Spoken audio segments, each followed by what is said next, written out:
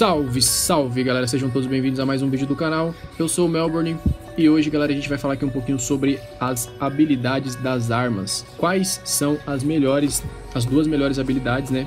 E quais são as piores. A galera tá com bastante dúvida, o pessoal tem me perguntado bastante sobre isso. Qual habilidade devo usar? Poder temporal ou poder brutal? Que no caso são as melhores duas habilidades atuais do jogo. Hoje eu vou estar tá tirando essa dúvida de vocês aí. Espero que vocês gostem. E não esquece, antes de começar aqui, vamos deixar aquele likezão aí, galera. Deixa o like, vamos explodir esse like aí, vamos bater aquela metinha de 100 likes. Compartilhe com seus amigos, né? Compartilhe nos grupos, manda para seus amigos, para suas amigas, para quem joga o jogo. Compartilhe aí, porque isso aqui também ajuda bastante o canal. E não esqueça, né, o mais importante, se não for inscrito, inscreva-se e ative o sininho, porque sempre que sair vídeo novo você vai ficar por dentro aí das novidades do canal. Beleza? Então chega de enrolação e vamos para o que realmente interessa. Bom, estamos aqui com a nossa querida Namira e hoje a gente vai falar aqui um pouquinho sobre as habilidades das armas. Vamos matar essa dúvida aí da galera, né? O pessoal tá com bastante dúvida em qual habilidade deve usar, poder temporal ou poder brutal. Assim, as duas habilidades, elas são muito boas, né? São as melhores habilidades do jogo, de arma do jogo. Só que eu acho que ela se encaixa melhor em certos personagens, né? Eu acho que em certos personagens aqui ela se encaixa melhor. Por exemplo, a minha arqueira, no momento eu estou usando poder temporal. Por quê? Porque o dano base dela já é bem forte, né, galera? O dano base da arqueira já é bem forte. O poder temporal, além de ele resetar as minhas skills ali, né? Eu ainda tenho 40% de velocidade de ataque. Então, assim, é, eu acho que esse, essa habilidade para ela, para arqueira, é uma habilidade muito top. Porém, o poder brutal também nela fica interessante ficaria interessante, mas no momento eu tô curtindo mais poder temporal. Mas, assim, fica ao seu critério, se você quiser usar, o poder brutal também você pode, mas eu recomendo mais poder temporal aqui pra, pra arqueira, beleza? Falar um pouquinho dessas três habilidades, poder ágil, galera, não vale a pena, tá? Isso aqui é, acho que é a pior habilidade de todas que você pode tirar na arma aí, não, não compensa. Poder protetor, esse, essa habilidade aqui, galera, ela é boa para quem gosta de jogar com personagem tanque, né? Por exemplo, o BK ou o guerreiro ou até mesmo o guardião. Se você gosta de jogar com personagem tanque, essa habilidade aqui ela pode se encaixar legal aí na sua, na sua composição, né? Vai deixar o seu personagem mais tanque ainda, então pode ser uma habilidade boa. Né? Poder vital também não, no meu ponto de vista, eu acho que não. Ela recupera bastante a vida, mas não, não influencia muito. Se você pega um adversário muito forte, essa, esse poder vital aqui não vai fazer muita diferença, entendeu? Porque tipo, você vai curar ali, mas para você curar bastante o sangue, você precisa ficar correndo, né? Você não pode ficar levando pancada, senão não cura. Não vejo assim, nossa, que, que habilidade top, tá ligado? É, não usaria também.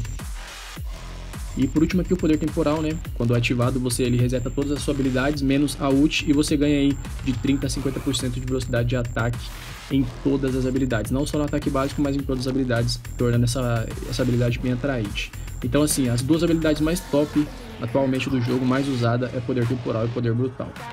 Beleza? Porém, elas se encaixam é, melhor, né? Em cada personagem. É, na minha arqueira eu estou usando poder temporal, como eu falei pra vocês. Já na minha bruxa, na minha bruxa não, na minha maga aqui, ó, eu recomendo, vou até logar aqui, eu recomendo que vocês usem o poder brutal. Por quê? Porque a maga, galera, além de ela também ter o dano base ali um pouco já alto, né? Essa skill campo gravitacional dela, ela aumenta a velocidade de ataque dela, né? Então, tipo, você ataca muito rápido, não só a habilidade, o ataque básico, mas também o ataque das habilidades. Então você já vai atacar rápido, entendeu? Quando você ativa esse campo gravitacional. Então, assim, você aplicando mais poder, eu acho que fica muito mais viável. Você pode usar o poder temporal? Você pode usar o poder temporal. Ela vai atacar muito mais rápido do que ela ataca, vai ficar parecendo uma metralhadora. Só que você pode mesclar, né? Em vez de você usar mais velocidade, você pode usar, é, optar por colocar mais poder, né? Eu fiz os testes, eu acho que ficou muito, ela fica muito melhor que o poder brutal, porém você tem que acertar as habilidades, né? Você precisa acertar as habilidades quando você ativa, tem que ficar atento porque são poucos segundos, né? Então você precisa ficar bem atento quando é ativada, mas eu acho que ela fica muito mais viável é, utilizar poder poder brutal, beleza? Mas assim é uma opinião minha, né? Mas cada um joga da maneira que quiser. Se você quiser usar poder temporal nela, você pode usar que também fica bom, né? Fica, fica, fica legal também. Mas eu recomendo Poder Brutal na Maga Guerreiro, poder temporal também, porque ele fica muito god, né? Aquele poder da mente dele, do olho da mente dele fica muito god, ele ataca muito rápido. Você praticamente peteca ali o adversário, fica muito, fica muito bom mesmo. O BK também, eu recomendo que vocês usem poder temporal, porque o dano base dele já é muito alto, né? Ele já tem um dano base muito alto, então o poder temporal vai ajudar bastante ali a você resetar as skills. Além de resetar as skills, você vai atacar muito mais rápido, fica muito god também. Porém, se seu BK for tanque, é, for aquele BKzão tanque, né? Com muita defesa, eu recomendo que você pode usar também o, o, a habilidade de proteção lá, né? Vai te dar mais defesa ainda, você vai ficar mais tanque. Porque você pode combar aquela habilidade com a runa também. Tem a runa de, de, de escudo lá também. E, cara, vai ficar muito roubado também. Beleza? Na assassina, galera, o pessoal tem bastante dúvida na assassina também. Qual que eu devo usar? Poder temporal ou poder brutal? Galera, na assassina, eu não, infelizmente, no momento aqui ainda não, eu não peguei uma arma para ela, né, com, com habilidade para testar, mas eu eu acho que eu usaria, optaria por usar o poder brutal, porque a assassina ela já ataca rápido, né? Ela tem o cooldown das magias dela também são bem curtos, então ela usa, consegue usar as, as habilidades constantemente ali rapidinho. E o problema é que ela tá sem dano, né? Ela tá um pouco sem dano. O dano base dela é muito baixo, muito baixo mesmo. Eu optaria por usar um poder brutal nela, acho que ficaria God. Ela com poder brutal acho que ficaria muito God mesmo. Mas eu não cheguei a fazer o teste ainda para ver se realmente fica bom. Como, eu, como vocês estão vendo aqui, eu tô, peguei uma arma com poder protetor, então eu ainda não tive o prazer de, de testar com ela aqui, mas é, eu usaria o poder brutal nela, não o poder temporal. Mas fica ao seu critério também, né? Se você quiser usar poder temporal nela, fica à vontade. Na bruxa aqui também é, é uma dúvida bem... Eu tenho bastante dúvida sobre o poder temporal e sobre poder brutal. É, eu teria que fazer um teste, né? Infelizmente também não peguei nenhuma arma nela com essas habilidades, mas eu acho que eu usaria o poder temporal nela também, para ver se ficaria legal.